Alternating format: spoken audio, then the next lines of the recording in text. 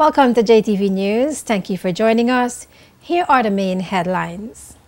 Youth parliamentarians present compelling arguments about national health insurance.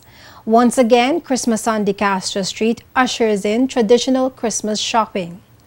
The Baron opens 21st HLSCC Performing Arts Series with a melodic calypso showcase. Health Minister says diabetes is rampant among BVI youth and urging them to eat healthier. JTV News keeps tradition of presenting some of the top places to shop for Christmas. And Sophie B visits one of the top salons for hair and nail care.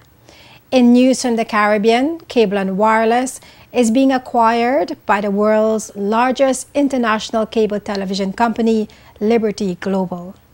And the two main political parties in St. Vincent and the Grenadines will contest all seats in the upcoming election. In Medical Edge Health Report, the success that vaccines have made caused many people to wonder if they should bother to be vaccinated against diseases anymore. The Mayo Clinic says yes, and we'll have that information for you a little later. But first, members of the Youth Parliament present strong arguments for and against the implementation of NHI. It is set up in a way that it will provide the quality of healthcare necessary for a healthier population for these Virgin Islands.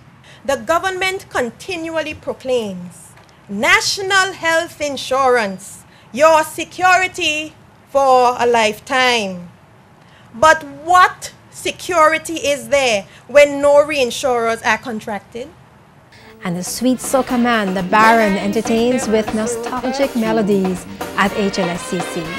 So come on, I want you to come home with me and sing. I will like you to prove you're soca king. I'm Ino Soman, and I'll have the details of these stories and more right after this.